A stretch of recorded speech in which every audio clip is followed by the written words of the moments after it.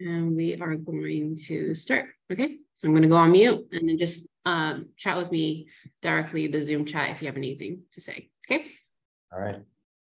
All right. Welcome, everyone. Thank you for joining us today for this webinar. Wait, uh, not yet, not yet, not yet. I haven't started yet. I have to click start webinar and then you'll start. Okay. Okay. All right. Uh, welcome, everyone, and thank you for joining us today on the webinar for Crafting Technology Investment and Blueprint and uh, Achieving the Art of the Possible. Uh, I'm joined here today with a couple of partners of mine, Manan Thacker, who's part of the consulting organization, and Miguel Sanchez, who leads Synoptek's Business Software and Solutions Group. Um, we're going to be starting in just a few minutes, and um, we're going to have time for questions and answers near the end of the presentation uh, we'll make sure that we cover everything for you. And we're excited to get started here. All right, so if we dive right into it, uh, I've already introduced ourselves here. We'll be covering all of the details um, here in just a second, but let's talk a little bit about setting up the stage here.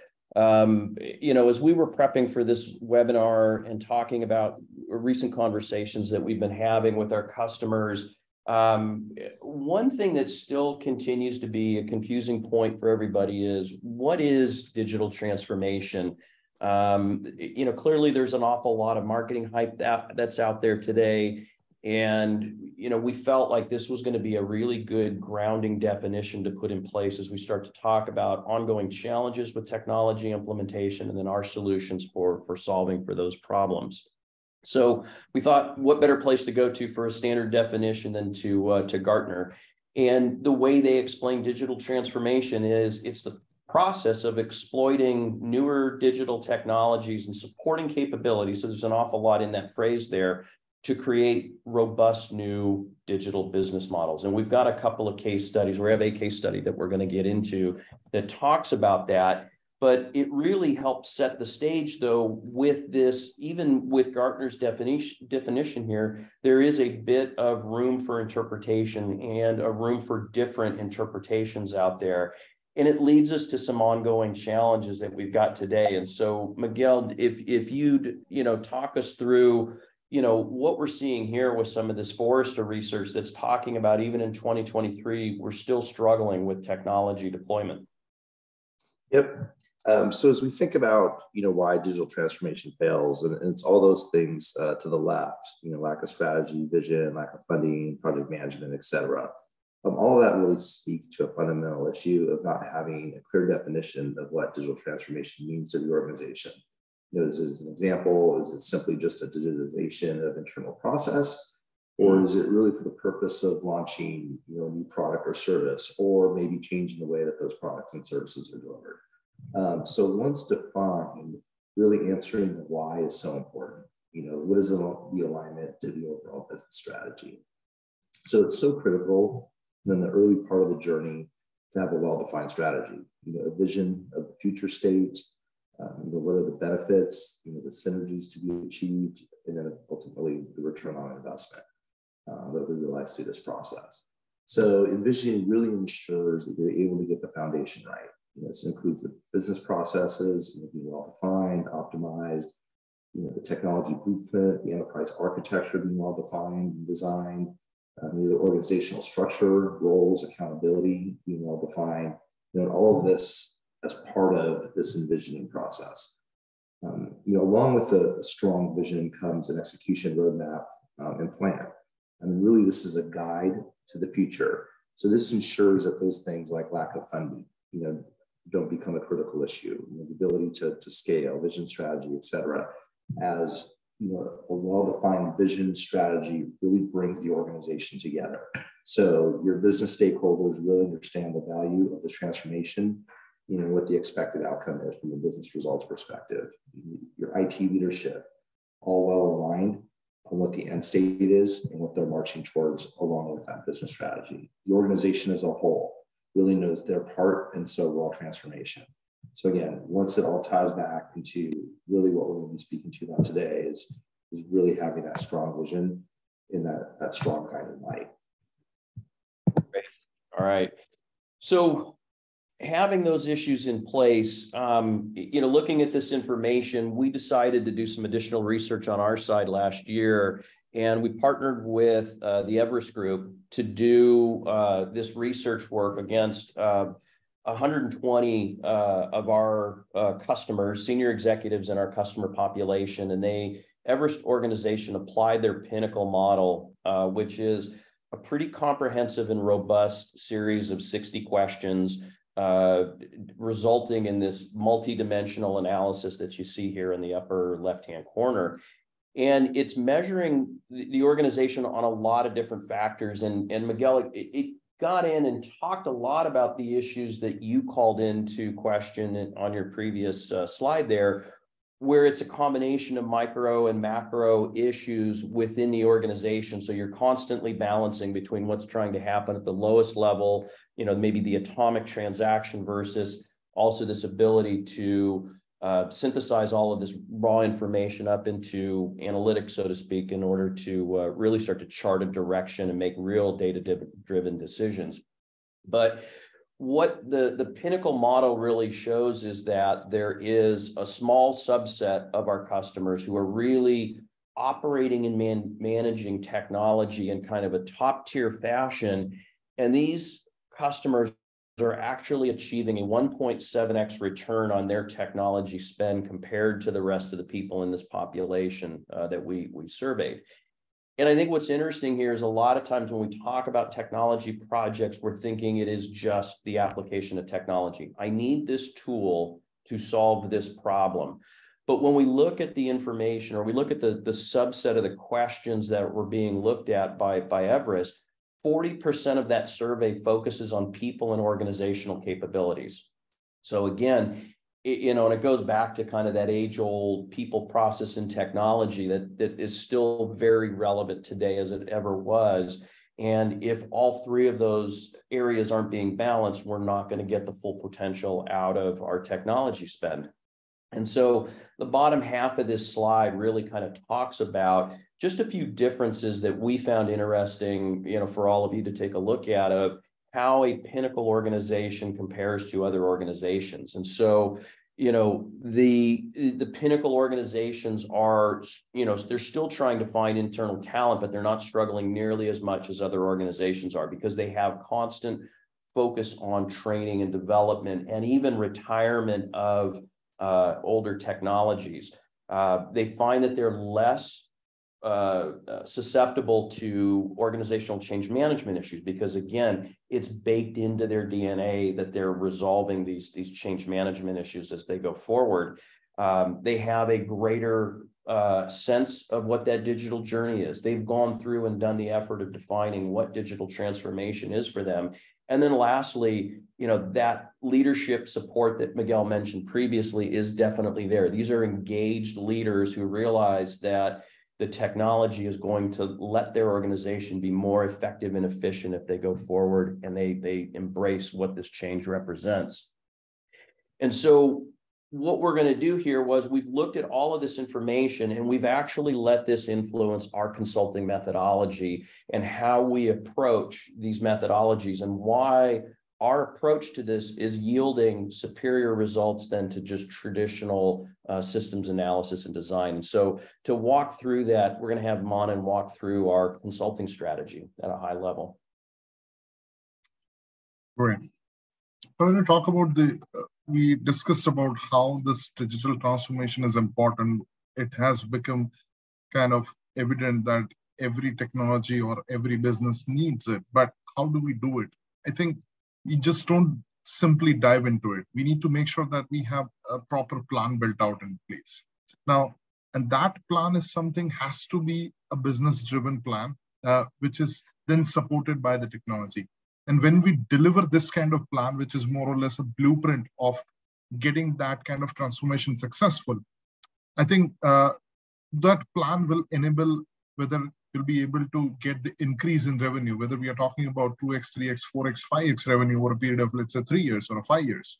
Uh, how will we ensure that the overall profitability is increased? Uh, and then it also entails the process optimization. It also ensures that the compliances are met. The risk, risk has been mitigated and managed properly.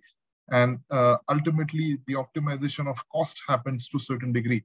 And this is what all the plans should support. And at Synoptek, how we do it is more in terms of calling this whole thing as envision.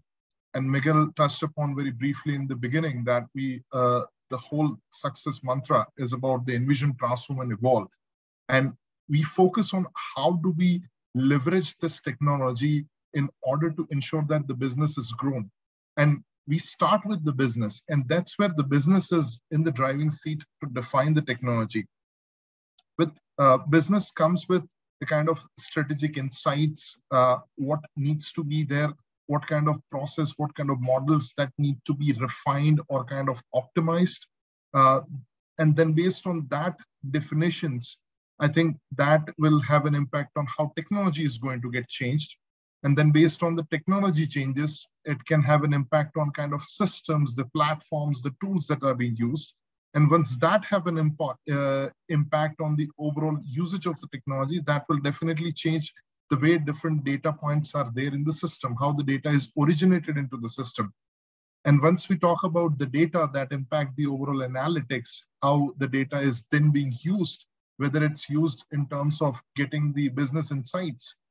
So from the business, from the operations transformation perspective, we are also talking about that how technology has become the enabler in achieving those things. And when we talk about this transformation being achieved with the help of technology, what plays a major role is the business and the persona. That is where the focus should be. And then when we, we are defining this blueprint, we are focusing on whether we have right set of people who are delivering those kind of strategical initiative that the organization is envisioning at this point. And that is happening through the interaction, collaboration, different kind of process modeling that we can do and then uh, we have to make sure that we are not just uh, constantly redoing it or we are just uh, reaching to the timeouts, but we are making sure that we are working towards the future that where the organization should land up. And that can happen with the help of technology, where the technology will start becoming the enabler. And one very important aspect of that is it's not the technology which uh, drives the business, it is the business which drives the technology what business requires based on that, the technology should be in that enabler's seat. Whatever the business is trying to achieve, technology is at the core and it becomes the backbone of how the overall execution should happen. And one of the most important aspect is whenever we're talking about this digital transformation, I think the technical debt needs to be considered. And then when we talk about debt, it's a short-term and long-term debt both that should be factored in. We're talking about replacing, upgrading some sort of technology. But at the same time, we should also look at that what the investment that we are doing as an organization is in the right set of tools and technology or not. And once it is implemented, does it support or kind of take you towards the ROI that is envisaged? So these are the factors that is being considered when we talk about the digital transformation. And Jerry has very well defined in the beginning that when we talk about digital transformation, there are a lot of different definitions exist. But here we are talking about how well it can help in terms of scaling the business, whether we have made our organization data driven or not. Are we looking at leveraging data at every possible change, at every possible touch points, whether data is being used to define what kind of experience that we are leaving for a customer, what kind of experience that we are leaving for our employees as well. And that is achieved through the kind of analysis that we can do. And what kind of pain areas that we have uh, identified, what kind of goals that we have set, are we able to achieve each of those goals, whether each and every department or function has been enabled to achieve the kind of result that we have envisaged. And with those identification of problems, with those identification of solutions, we'll be able to define that roadmap, which is what we call it as a blueprint or the kind of roadmap to the success. We typically do this kind of exercise within six to nine weeks where different kind of stakeholders or the C-level executives or the different kind of department heads and SMEs are being interviewed and kind of uh, taken their inputs into consideration to really come up with this kind of roadmap or plan. And that's the kind of blueprint of a success. And we have been doing this over a period of time. So in the next slide, I think, Jerry, if we can talk about how we have done it for one of our customers, that yeah. will give us some more insight. Yeah, great. Thanks, Manan. I think what's what's what's essential with this slide, and it's a and it's a tee into the next slide here, is that we see this as a circular exercise, right? To perform this analysis up front, to do this envisioning, leading into the transformation, but without constant follow up and follow through. And it was that's something that uh, we also learned from the Pinnacle research that a Pinnacle organization has this ability to focus on long-term value realization and they can keep their eyes focused on those objectives over a longer period of time than anybody and this circular reference now is what leads us into you know this next uh, case study that we've got right here and this is one where you know the customer had come to us originally uh, they just said hey we need help finding uh, our new erp platform um, we're a $300 million organization, but we intend to uh, double or triple that size in, over the course of, of three to five years. And essentially, their objective was they were moving from institutional training and wanted to do more direct to consumer online training. Um, and they came and asked us the question about um, their ERPs because it couldn't scale with where they were headed. And we sat down and we applied our methodology here and we actually began with the senior uh, leadership team and spoke with them and identified, you know, just inherently where they had been struggling with technology deployments in the past. And if we go back to that previous model, the model always started with somebody saying, well, we need digital transformation. And they never did any other analysis as to why or what the business was trying to accomplish. And so that first conversation that we had with them was really centered around how do you see yourself getting to that 300 million and or, or that that 2x or 3x increase in revenue that they had charted for themselves?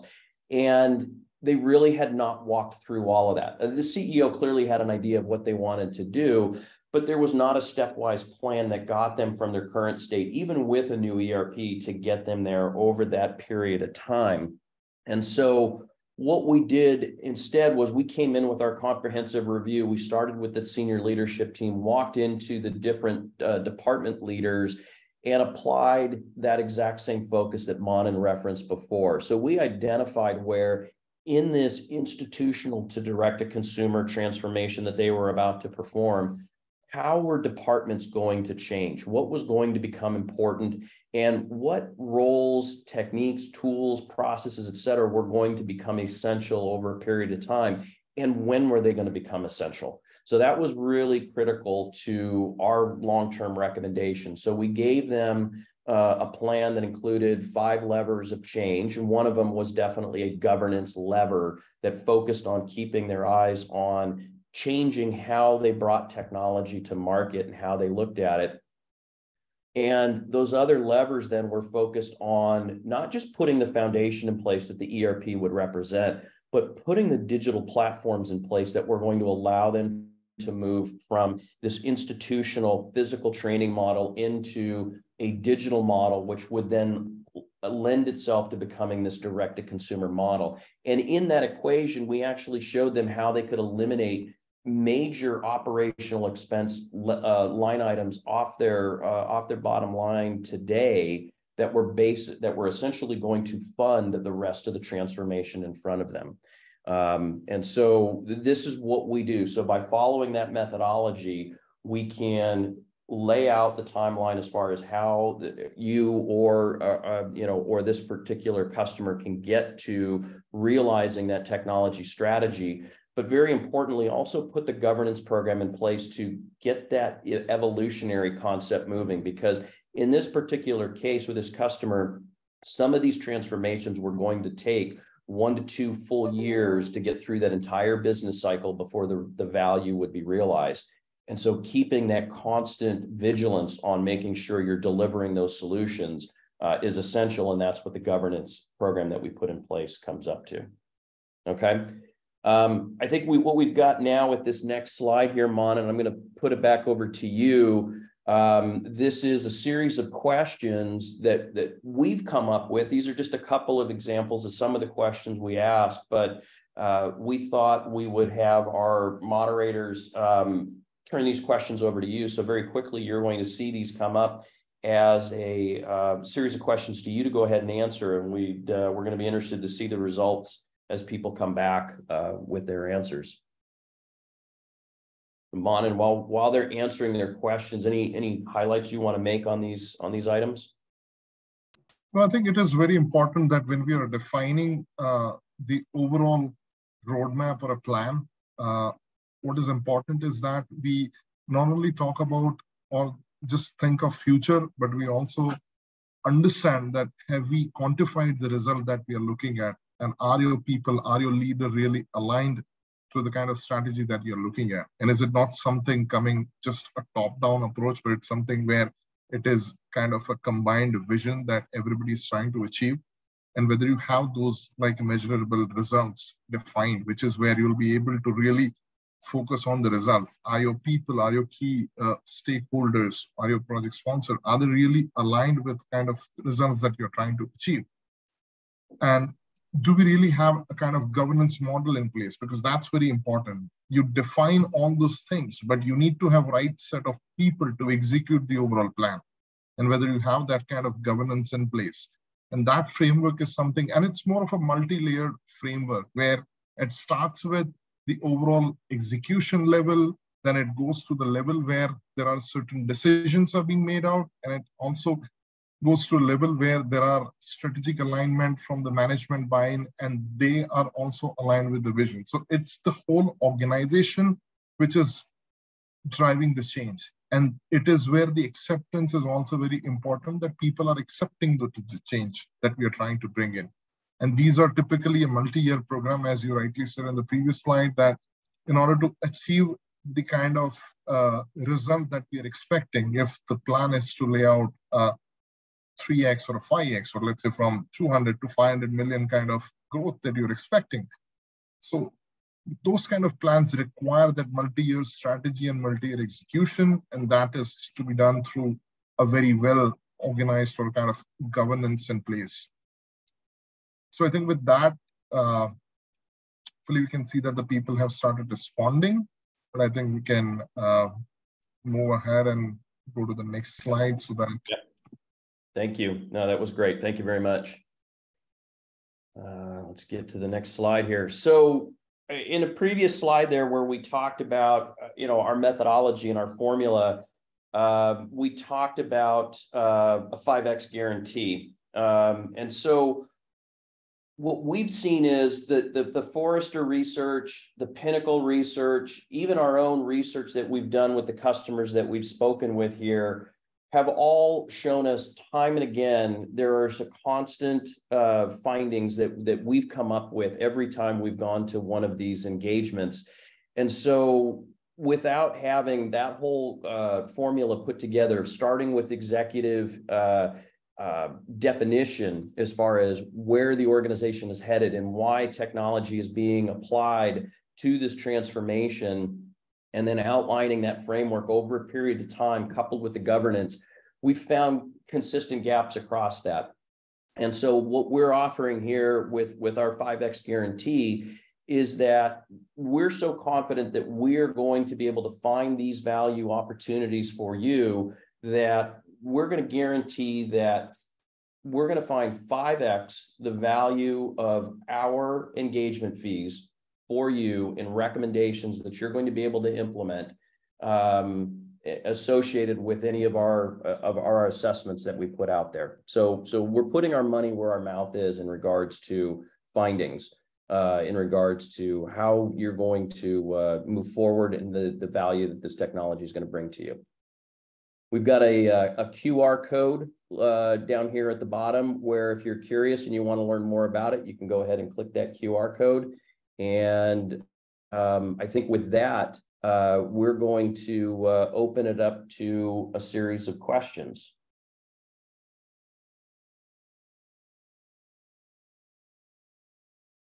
And let's see here. Uh, Tiffany, you want to you want to feed the questions in, or how would you like to approach the questions? I think the first question we've got here is one that's come in from the outside is, uh, you know, there's been an awful lot of, of, talk in the past few months uh, and even more so in the last week in regards to uh, the influence of artificial intelligence and chat GPT or now Microsoft Copilot into business solutions and how do we feel that that is going to uh, affect any of the items that we talked today and and i would say that again from the standpoint of of our methodology is is technology agnostic. Um, we don't necessarily feel that uh, you know ai is going to be uh, uh, any different from a influence into the organization as any other technology. There's going to be a, a, a big focus. There's going to be a lot of interest of where we can apply it. Uh, what we look for with all of our solutions is where can we provide solid and sound uh, business solutions and try to avoid the hype cycle. Uh, but what I do think is important with uh, the, the use of AI is McKinsey has published uh, a paper recently that really talks about um, the potential for AI in industry. And they are predicting that by 2030, AI is going to add uh, $13 trillion of GDP to the global economy. Uh, and that addition is not going to be to the big technology firms. They're going to be to every other business who has applied AI into their business models. But what they talk about is that there's not, you know, one of the things they clearly call out in their research paper is that the um, um, um, that that the timeline of somebody saying, you know what, I'm going to sit back and watch. I'm going to be a, a not an early adopter, but I'm going to watch and wait and see. These people are going to be so caught behind the the power curve that once these early adopters figure out how to embed AI into their business models, you know, once they they they figure out how those integration points are going to work and they get AI implemented into their business models, their gains in market share are going to become so rapid, the laggards are not going to be able to keep up. So this is one thing where, you know, what we're working on is how do we imply this into the, the, the models and how do you start to develop that, uh, that, that, that capacity or capability in the early phases with uh, uh, trials and conference room pilots where you can figure out where it works for your organization. Because that is one thing they make very, very clear every organization is going to be different on how they go about it. Your data is different, your influencers, your detractors are all different. So everybody has to go their own journey. Um, let's see here, Manan. Um, I think one of the things that you talked a little bit about was, um, you know, you had talked a little bit about one question we got here was, you know, 70% of the large scale digital transformations are, are still continuing to fail based upon our first page what is it different about us that guarantees success? That's interesting. And I think, uh, so if you've understood in a little bit of details in terms of those 70, 73% of transformation programs fail, I think one of the fundamental reason is that have those been defined properly? Have there been governance in place? Uh, where there's proper execution, where people ready to accept those kind of changes? So I think it is very important that it has been defined in a proper state as to what measurable goals are there, whether are we ready to take up what is required to be changed, and are your people really ready to get those kind of changes in place? And once people are there, do you have set of technologies and tools supporting those kind of changes? And are you really focusing on the measurable business outcomes? If all those things are there in place with a proper governance model, I think uh, that will give you that guarantee that all this kind of executions or large scale digital transformation programs are bound to be successful. And it's not something which is a big bang or a just a one year program. It's more of a multi year and kind of evolving. And Jerry rightly mentioned earlier that it's an ongoing program. It's not something where you just target in a one go. It's more something that you define those intermediate milestones and then you achieve eventually. And then you gradually reach to the state that you want to go to. Miguel, anything that you want to add on this? Yeah, and I think this touches a, a little bit on, um, on on on what we talked about earlier. Is, is really thinking through a well-defined plan. You know that plan and that strategy um, you know, really creates and, and, fosters adoption throughout the organization. Um, you know, and without that, you know, it's very difficult to execute if there's not broader alignment, um, if people don't really understand the game, and vision isn't clear. And it, it, does lead to many of the issues that we see today. Um, as it relates to technology spend. You know, that spend is it really thought through, organized. Um, it's difficult for IT organizations to articulate to the business, you know, the value um, and the benefit, and it's very difficult for for businesses to understand that value and benefit. Um, so going through this exercise really brings alignment, and once you have alignment, then it's a very powerful uh, tool in digital transformation. Hey, Miguel, staying on that line there, how important is it for your partner selection in regards to not just the the uh, strategy, the implementation, but also the operation of these tools? You know, it, it is it is uh, definitely a consideration, and it is important if you think about you know the partner ecosystem. And we do have a variety of individuals or, or firms out there that could potentially be focused in, in one area or, or the next, whether that being strategy only or transformation or, or IT management. Um, and having kind of built over the years, you know, the capability of you know, IT strategy, really, you know, participating in the transformation and then not really stepping away, but, you know, evolving what was transformed, you know, the continuous improvement of that um, you know, really bringing that full service you know, capability is, is critical. If you don't understand what it means to operate this 10 to 15 years later, it's very difficult to think through what it means for the organization. You know, you're thinking about what it is and the plan and, and what the transformation in that journey will look like. So Miguel, staying on that thought then, why don't you tell us a little bit about Synoptek then and kind of how we're actually we're we're well positioned to help people through this envision, transform, and evolve process? Sure. So Synoptek, um, founded in 2001 as an IT consultancy. So at the time, the focus was really on IT strategy, IT assessment, um, program project management, portfolio management, um, large scale system implementation. If you really think about it, you know, kind of achieving 5X was really in our DNA. And over the past 22 years, we really grew into an IT management or full service IT management service provider. And, and what that means is we built out um, you know, a full capability, and you see here the envision, transform, evolve around really thinking through IT strategy, the alignment to business strategy, um, preparing the roadmap, envisioning the future state. And then that really led into the transformation. Uh, so the ability to migrate, upgrade, you know, implement that new, greenfield implementation, et cetera, really transform the organization to that future state. And then once there, it's the continuous evolution of that future state and making sure that those services are continuously being improved, that the organization is realizing the full benefit and the ROI of that initial transformation. And I think this is very important because it's very different than you know IT back in 20, you know, 15, 20 years ago, you can kind of set it, forget it. Or there was a, a, thought that you would implement a technology and then maybe 10, 15 years down the line, you would completely refresh that environment. We're in a different role now with platforms, and those platforms need to be involved, the ecosystem need to be involved. This is where this business model really you know, takes shape. Um, in addition to that, it was you know, building out an integrated service portfolio.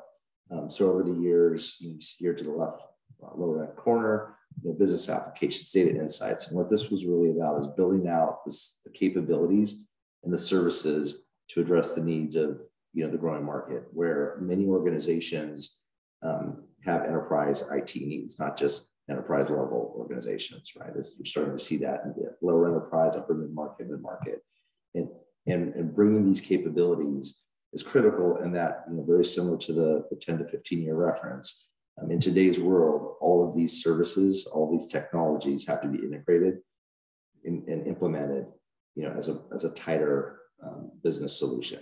You just can't implement a business application without thinking about security. You can't think about, you know, implementing, you know, you know, cloud advancement without the networks and the infrastructure that's going to power that, that cloud capability, et cetera. So um, it's a little bit about Synoptek, um, and all of this really powered by you know, platform built over those years. And really, that platform is designed um, to really accelerate you know business results. Um, you know, in that our, our clients are able to really kind of connect into an existing platform, a mature platform that really fits into their business, you know, right size, right fit. That's great. Yeah, I think the, uh, the, the, to me, the big differentiator here is not only can we do the, uh, the strategy work, but we can then implement it and operate it.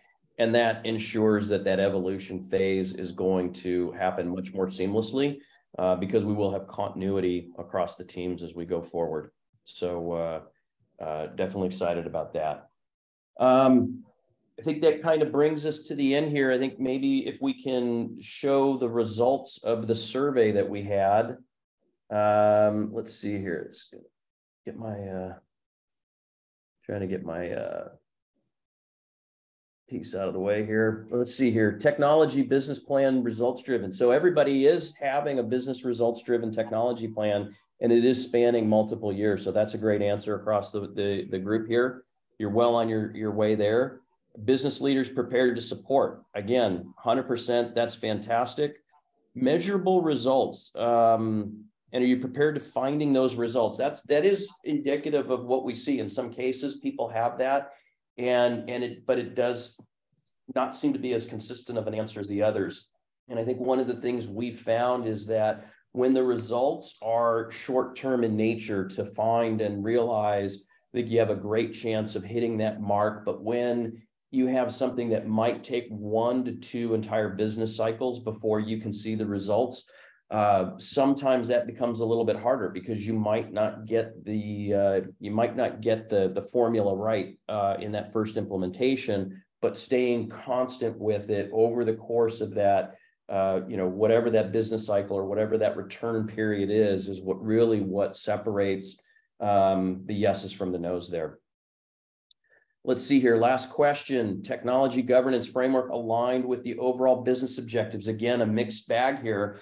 Uh, again, I think that um, you know th- this is a little bit of what we see in some of the different customers where there are uh, people who are engaged in the governance model and others who are not. Um, this is one of the hardest things to get going on because it is a human factor that is going to drive this and not necessarily a pure technology factor. And some parts of the organization who could be very essential to driving the change management may not feel that the, the, the governance process is worth their value. And I think it becomes the way to bring them to the table is trying to maybe change this the structure less around a focus on just technology conversation, but more around business objectives and realization of those business objectives via technology solutions and then letting each of these uh, leaders know where their role plays because they they may end up having an indirect role versus a direct role. Miguel, um, you know, with all your time here in the company on these last two questions, what are your thoughts there? Yeah, I think a couple things on on measurable measurable results. You know, I think it's important that the organization is aligned on what's being measured, um, and you have different kind of perspectives throughout the organization. As an example, maybe at uh, you know the board level or executive level, um, it's very EBIT focused. Um, you know, in, in, those operational capabilities, it may be more about productivity, throughput, and and really creating you know more efficient process across uh, particular operational capability. Sales may have more sales oriented, so it's really about being able to define what success is. Mm-hmm and then how are we achieving success, and then how are we measuring success, and then reporting against that. Um, and then on the technology governance framework, it is interesting given that these transformations, you know, they could be one to, to five year transformations. And, you know, business changes, business evolves, as does the technology landscape, the competitive landscape. And it's really about putting a model in place that one keeps the organization you know, on track and is making those decisions to ensure um, you know, the, the end state and the objectives are met. Uh, second is it's agile and flexible in a way that as things evolve and change, that the plan, the strategy, the vision could potentially change. And how do you put those processes and that governance in place to manage that change um, you know, throughout the process? So, so those are my, my two comments on that. Great. Um, what, what are your thoughts there on, on those items, especially the, um, you know, the, the broad engagement across the organization and in the technology governance? I think um, the governance has been playing a major role. And what is important is that many a times this kind of transformations are planned, uh, but when it comes to execution, I think in case of this long duration plans, the key is missed out, the focus has changed, the people changes during that duration. That's where I think the core focus is lost at times. It is very important to remain on track and keep on checking and just uh, making sure that we course correct wherever required to make sure that, and if there are times things happen where you may have to pivot the strategy in terms of really achieving or just adjusting with the changing business dynamics. I mean, you can see that there are certain changes and let's say it could be some external factors which is not in your control, like the, the, the, economic outlook, what is happening. And that may have an impact in terms of the kind of strategic outcome that you're trying to achieve. And you made sure that the, you've got a right balance of people uh, in your execution team, which is what is supportive of the kind of vision that you have laid out. And then you're constantly measuring those kind of outcomes to make sure that you are realigning to achieve the success. I think that's very important that while the planning matters, but the execution matters the most and make sure that you know where you have reached to the finish line. Otherwise, there's no point in keep on running. Right. And and to your point, right, finishing through the finish line and not just stopping right there at the uh, once you break the tape, right? Yeah, exactly. Great points. All right. Well, everybody, I'd like to thank everybody for joining us today. Uh, you know, Manan, Miguel, thanks for your, your thoughts and insights. Um, if you are interested or intrigued about how the 5X opportunity could uh, help your organization realize your strategic goals, click that link, follow through with it, and uh, we'd love to uh, to follow up and talk with you more. Thank you for your time today.